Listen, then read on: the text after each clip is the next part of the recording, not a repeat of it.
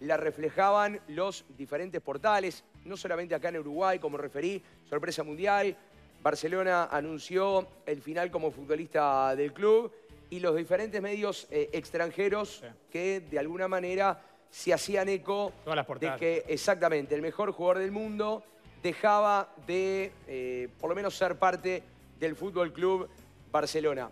Ahora viene otra parte de la historia, ¿no? ¿Qué va a pasar con Messi en estos próximos días. Seguramente las informaciones lo van a hacer jugar en un montón de clubes. Seguro.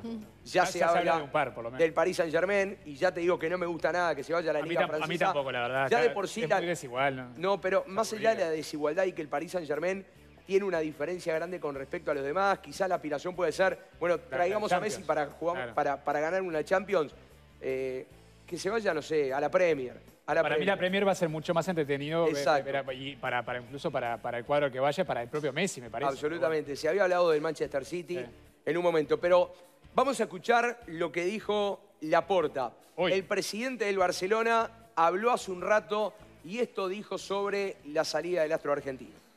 Insisto, no quiero generar falsas esperanzas. Esta negociación ha concluido y, y nos ha llevado a que los acuerdos no se han podido formalizar porque no podíamos inscribir al jugador eh, por el límite salarial que tiene el Barça, que no tenemos margen salarial y que la Liga, pues, mm, que es respetable, no es flexible en cuanto a ampliar ese límite salarial y que si queremos ampliar ese límite salarial tendríamos que favorecer una operación que, insisto, eh, consideramos que el club está por encima de todo y no debe entrar en esta dinámica de hipotecar los derechos, parte de los derechos eh, audiovisuales del club por medio siglo. Esto ya por concepto. Bueno, ahí estaba Laporta hablando de lo que más o menos les contaba, ¿no? No hipotecar el, futuro, el futuro del club. Por un jugador, ¿no? Y hablando exactamente de, de la salida de Leo Messi. Bueno, del mundo Messi nos vamos a meter en el mundo Peñarol.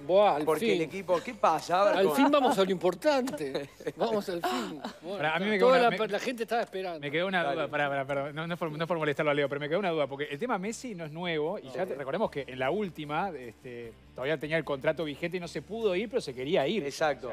ahí también había una intención por parte del jugador y una manifestación de incomodidad con Exacto, sí, se hablaba del proyecto deportivo más allá de lo económico. Yo no creo que eh, para Messi, que está eh, ya instalado, exacto, instalado en España con toda su familia, lo que significa trasladarse, mudarse en un lugar donde él está eh, hace tanto tiempo cómodo.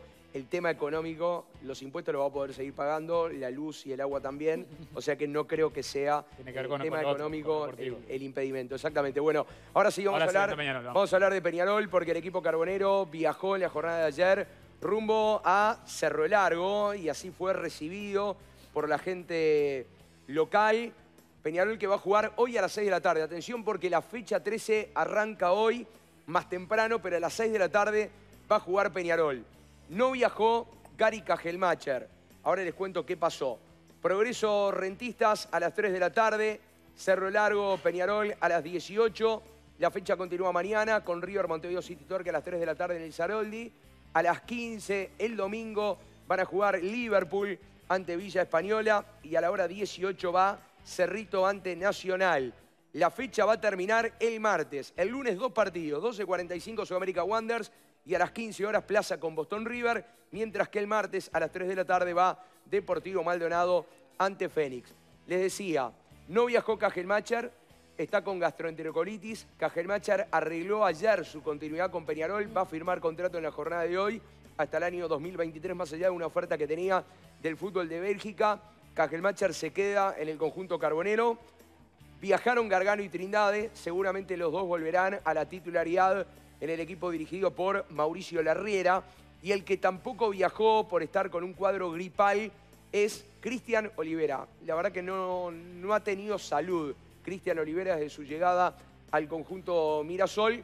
Peñarol lo iba por sumar puntos importantes pensando en la tabla anual porque ya la chance del torneo de apertura es eh, absolutamente hipotética. No, no, no, no tiene Peñarol posibilidad de pelear por el torneo de apertura. Peñarol que va a viajar entre semana para Perú para jugar ya el miércoles en Lima por los cuartos de final de la Copa Sudamericana. Eh, hablando del momento de Nacional, Nacional no tendrá Corujo, No tendrá Gonzalo Vergesio este fin de semana por cinco tarjetas amarillas ambos. Corujo incluso se está recuperando ahí de una, de una molestia muscular. Hay una oferta de México, hay diferentes equipos que están preguntando por la posibilidad de llevarse a Corujo. Veremos si esto se termina de concretar o no. Nacional todavía tiene tiempo para poder hacer alguna incorporación porque el periodo de pases se va a extender a nivel local hasta el próximo 27 de agosto.